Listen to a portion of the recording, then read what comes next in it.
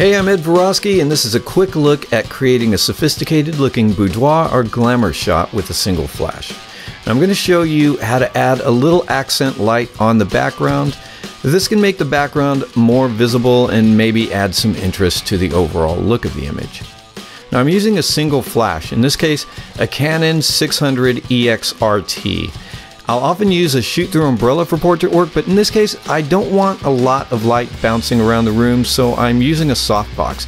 This is a Lastolite Ezybox measuring 2 feet across. The flash attaches to it like this, and you can configure it in different ways to create some really pleasing light. Here's a behind the scenes look at the posing and some of the images we captured with this setup.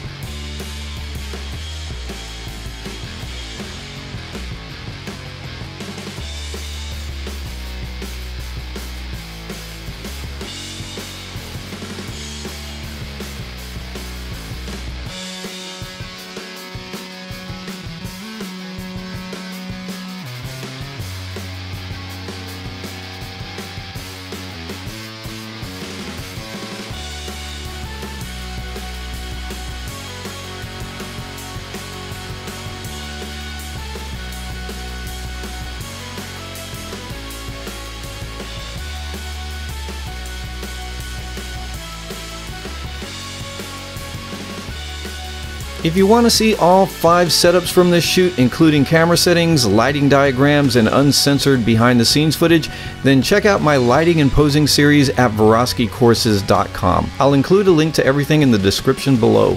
Hey, I'm always interested in what you think, so if you're watching this on YouTube, leave a question or comment for me below. And if you like this video, be sure to click the like button. If you want to see more, click subscribe. Thanks for watching. I'll see you next time.